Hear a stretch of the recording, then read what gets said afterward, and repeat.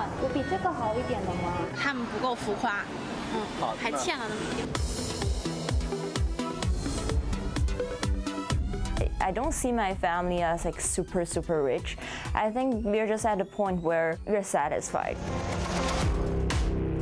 These are not luxury homes, but every one of them is a $3 million house. They like to flaunt their newfound wealth through expensive cars, real estate. Uh, I'd be surprised to find any who are in tune with their own culture. This isn't really an issue about race, this is an issue about wealth. Every world changes. Chinese brought you great food and better economy. What's there to complain about?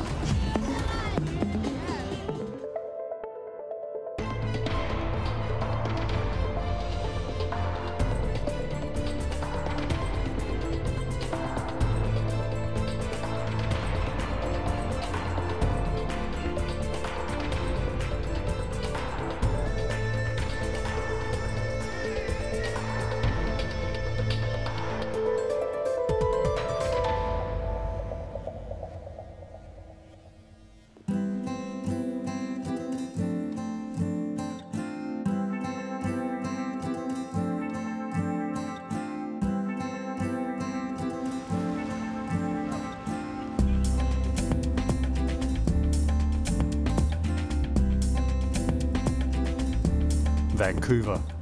On the surface, it's as close to perfection as a city gets. A stunning place, set between mountains and the sea, it attracts immigrants from all over the world. Among them is Pam Zhao. Her affluent Chinese parents sent her here to study when she was just 12. Were you aware at that age that your family was very wealthy? Not really, because what I thought is because I, because I, I knew I had more allowance than others. But um, I remember I had my first Chanel wallet when I was like grade nine or ten, but then I didn't know that it was a Chanel. I, I don't see my family as like super super loaded or like super rich. I think we're just at a point where we're satisfied. Hello. Hello. Pam's family came here under Canada's Immigrant Investor Program, which welcomed foreigners with a net worth of at least $1.6 million. And she's far from alone. In fact, there are so many Chinese millionaires and their children in Vancouver that the phenomenon has spawned an online reality show. And Pam is one of the stars. 我是 Pam，今年二十五岁，在温哥华经营一间模特儿经纪公司，叫做 Plan Management。 show is called Ultra Rich Asian Girls, and it documents the lives and shopping habits of some of Vancouver's wealthiest residents. The program's been viewed millions of times all over the world. One of its biggest online followings is in Australia. It's and it's diamond, white diamond package. 151,000. These conspicuous consumers are the public face of a controversial migration trend. Canada's Investor Visa program has seen more than 100,000 Chinese millionaire migrants move to Vancouver in the past two decades. I've come to see what changes these migrant millionaires bring when they move to a city that's no bigger than Brisbane. I'm Kevin, I'm the producer and director for the show. Nice to meet you. Today, the crew of ultra rich Asian girls are on location for season three of the show. Pam, you brought all the girls here. This is your idea, right? So let's uh, say, oh, I'm so happy. What are we making today, Logan? And, you know, tell us all about it. It was Kevin Li's idea to film the Vancouverites, known in Mandarin as Fu or Die. The Fu Er Dai is the equivalent of trust fund kids. And that translates to the rich second generation, Fu Er Dai. We, we filmed down in Beverly Hills in LA uh, a couple of weeks ago. And The extravagance of the Fu or Die lifestyle is contentious, both inside and outside China. Perfect fodder for reality TV. There's a huge range of responses from my show, anything from utter disgust to uh, utter fas- fascination. Um, the disgusting part, of, of course, is, is, is the amount of money that's being thrown around. You know, they're talking about uh, this Hermes handbag that starts at $15,000. And, you know, you just can't have just one. You know, you have to have a few, right? People in mainland China hate it. The news hates it. Everybody hates it there. But they love talking about it and they'll continue to watch it so they so they can find something to hate about it. Let's roll again. Three, two, and one. Everybody's pink. Audiences may love to hate it, but the show's stars say they're building their own personal brands in their adopted homeland. That's why we have so many like mean comments is from the producer. This is Chelsea Jiang. Her family became millionaires when China's newly privatized economy boomed in the late 90s. Nice. They decided to move to Canada because it's peaceful, everybody's acceptable, and uh, it's loving. They want to move me into this environment. Pam says when she first got to Vancouver, she found the Chinese population here foreign. Back then, it was mainly, you know, people from Hong Kong or people from Taiwan. So when I got here, I was kind of like the first ones of the mainlanders who actually got here. You know, everybody was still speaking Cantonese and Mandarin wasn't so popular here at all. In the years since, mainland China's new riches have been pouring offshore. $450 billion in personal wealth left the country last year, driven by anti corruption crackdowns and fears for the economy. Okay. Some of that torrent of Chinese wealth is flowing into real estate here in Vancouver. Can we go back? Yeah, yeah, yeah, walk around. Just, just Sorry, I'm just yeah. gonna put my stuff here. Pam's just bought a new house, and today she's looking for a retail store to rent. Can I open this? She's setting up a flower design business with friends. Do the workshop kind of over here. There's no hard data on the impact of ultra wealthy migrants on the property market here. But one thing is certain just like in Australia, prices are up. Way up. The influx has triggered a massive construction boom across every inch of downtown. The scale of the change in Vancouver has left me a little stunned. When I was last here, 17 years ago, this was a low rise, sleepy town. Now it's a forest of high rise towers. Out in the suburbs, the market is even hotter. And unofficial stats suggest that in some suburbs, two thirds of buyers are ethnic Chinese. It was originally built in 1930 and it's been renovated in phases over the years and updated. Um, nothing in the way of recent updates. Eric Coulombe is showing me around a house his real estate agency's selling. It's nice enough, but not as flash as its price tag. As far as the, the value, listed for 2.88 million and most likely will receive uh, competing offers. Uh, my guess would be it'll sell for, for north of, of $3 million. Eric tells me that on average, houses are selling in just 5 to 10 days. And the new owners will most likely tear it down or keep it empty as a wealth preserving investment.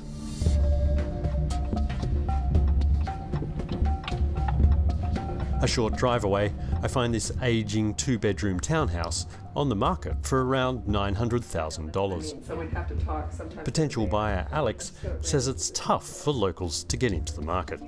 I have three kids that are renting, right? Right now, my middle daughter is living with me, and my eldest daughter is married to a doctor, and she is a doctor herself, and they both can't afford to live in the west side of Vancouver, and that's where they'd like to live, so they're renting. You know, for the young people, they just can't live in Vancouver. They can't.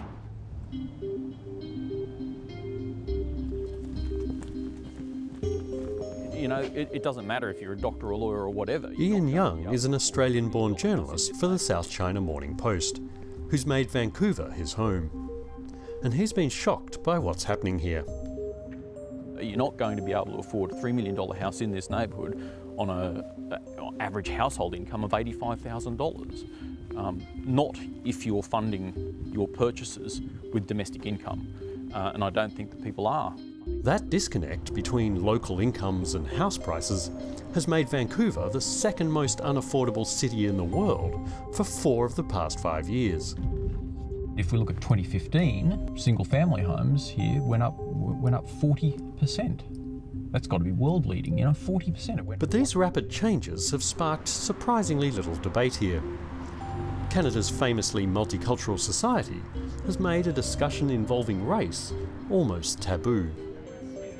quite rightly, people are very cautious um, when you're talking about issues regarding race and immigration, but this isn't really an issue, I think, about race. This is an issue about wealth. You know, it doesn't really matter whether, um, you know, the buyers in Vancouver are Chinese or non-Chinese or immigrants or non- non-immigrants. What matters is whether or not they are earning domestically, and that's what fuels unaffordability.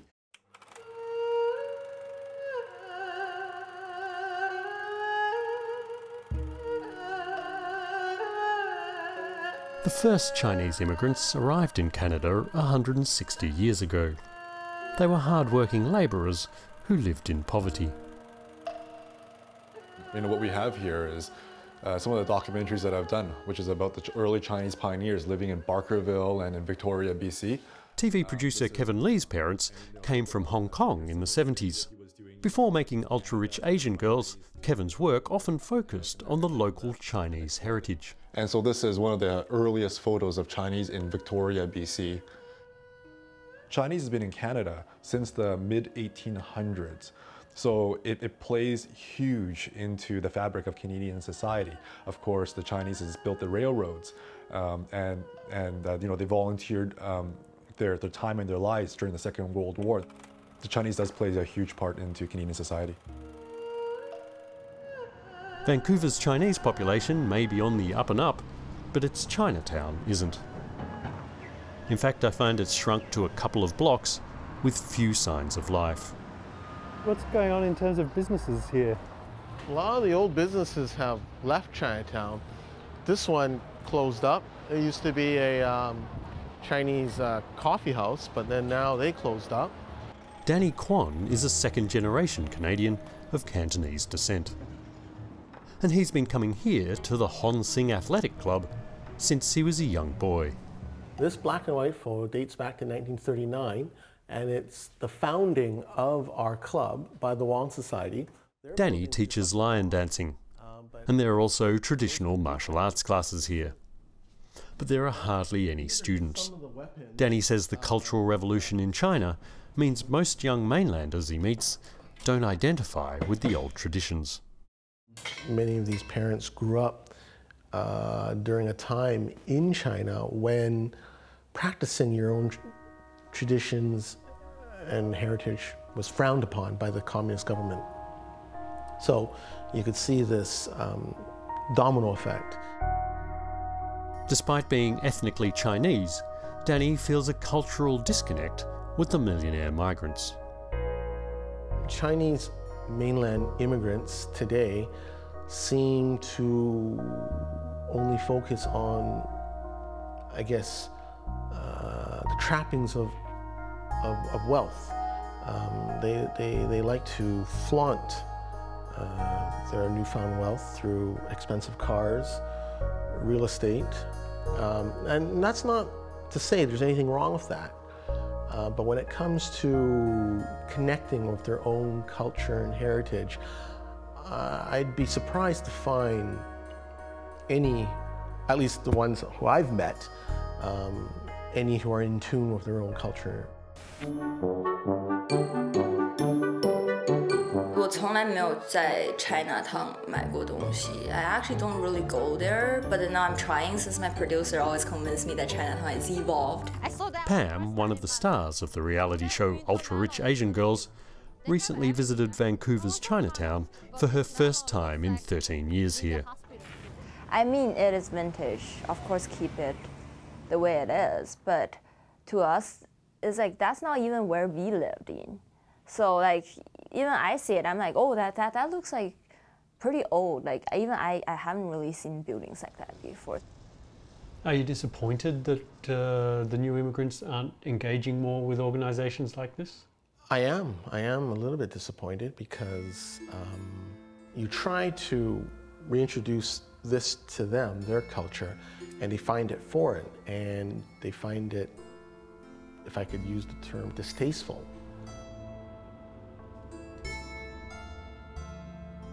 Ironically, the influx of millionaire mainlanders could end up being the death of Chinatown institutions like Hon Hsing.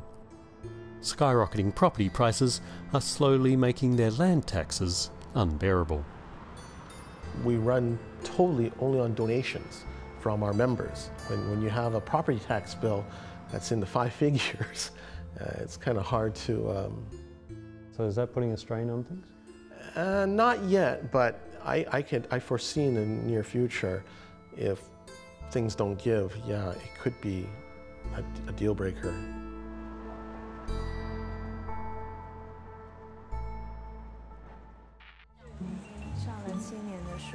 Chateau Latour, The Palmyra, 1995. 95? Yeah. Perfect. Good choice. Okay. The stars of ultra rich Asian girls say they're not bothered by criticisms of their lifestyle and wealth. Resentment is already out there, but uh, I'm not worried about it because I only need to deal with people that can see the truth or can see what's really going on. Because season one, a lot of people are judging, saying, "Oh, yeah, you know, like these people are just like a waste of the society. They're just like you know wasting resources, and they're just like living based on what was given." But then that's actually not true. Pam's defying the stereotype by becoming an entrepreneur in her own right. Black and white. Yeah, black and white. And then maybe natural color. Today she's picking out packaging for the business she's starting with family money. Their flower shop will pay local taxes once it turns a profit. And it's 100% organic cotton. Chelsea has also started a business, an online store for new mothers. And those are really soft. But while some of the Fuwa Dai generation are diving into Canada's economy, some say they're the exception among millionaire migrants. The primary breadwinners who arrived under those schemes, we're talking multi-millionaires here, were only paying an average of $1,400 in income tax each year. You know, they were declaring less income than refugees in many cases. Yeah, and the government doesn't like sharing a lot of this information either, you know. It, Journalist Ian Young has been closely following Canada's Immigrant Investment Visa Program, which peaked in 2010. There were 35,000 applications that year, and virtually all of them, basically they were all mainland Chinese um, millionaires who had just flocked to these schemes. So it was just, it was really just insane. Ian's research has found that the businesses started by millionaire migrants employ on average a grand total of one person.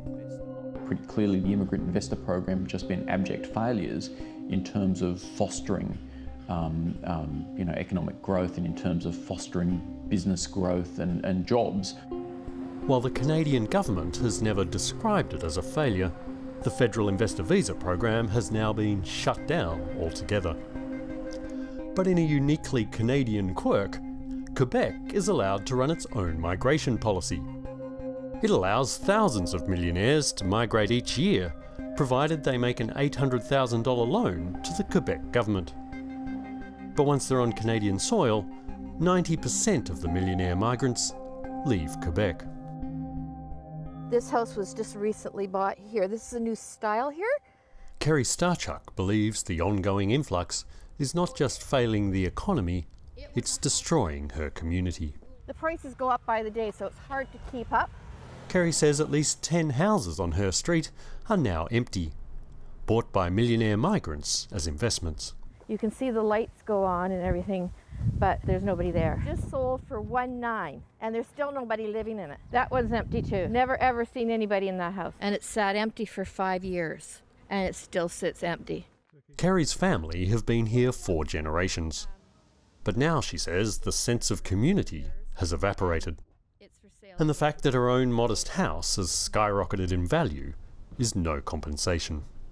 I'm not happy my house is worth a million five. I, I'm not happy at all because I got to pay more taxes. My kids are never going to be able to afford to live here, and we're losing our community. No, I'm not happy. Mon money has taken precedence over our neighborhoods. This one here is all the letters I've written to the different politicians. Not, not good news. Kerry's been channeling her frustration into activism.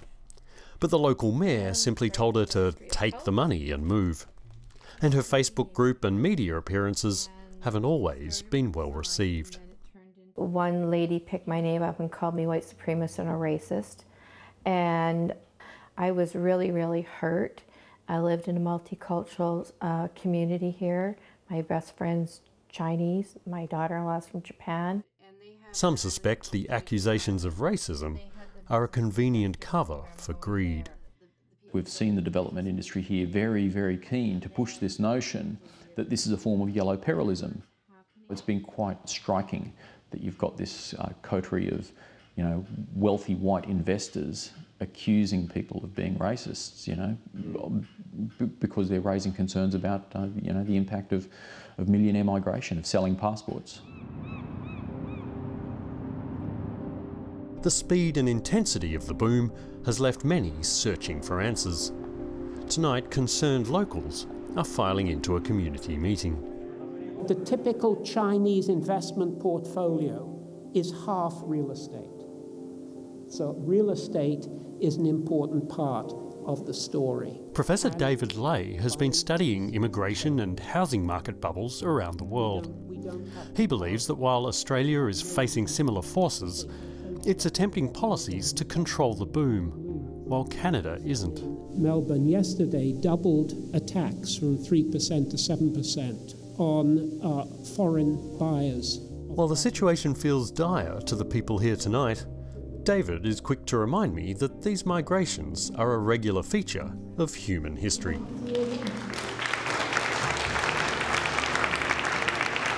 You go back one generation, it would be the US. You go back 100 years in Australia or in Canada, and it would be the UK. You know, uh, it is just where we are today.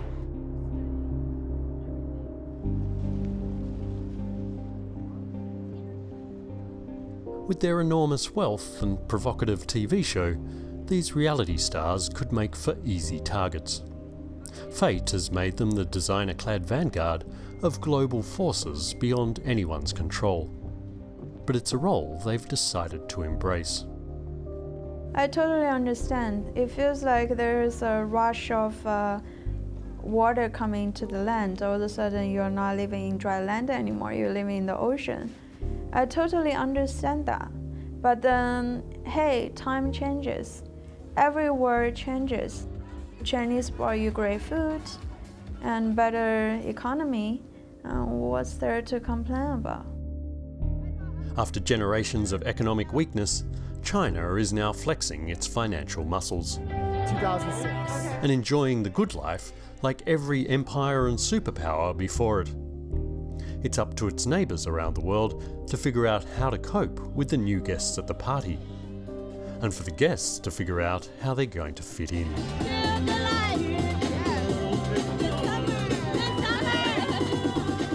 In Vancouver, I feel I'm fully at home. You know why?